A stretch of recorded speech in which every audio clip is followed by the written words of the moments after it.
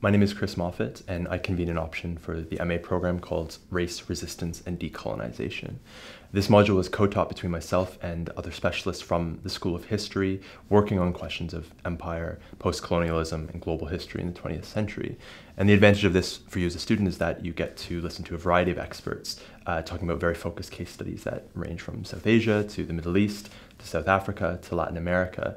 And all these contexts are um, bound by our interest in these key concepts of race and resistance, but also nationalism, international law, the idea of rights and self determination.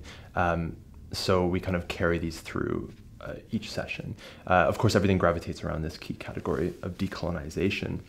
And we're very interested in locating the history of this as, as a concept, but also as a continuing political project um, we're interested in how decolonization as a process may not actually end with the end of formal empire in the 20th century and actually continues today into um, our political present. So, one of the things that we'll talk about are uh, debates around decolonizing knowledge, decolonizing the university, um, and so you'll be equipped as a student to deal not only with a sort of historical uh, moment but also uh, public discourse in the present.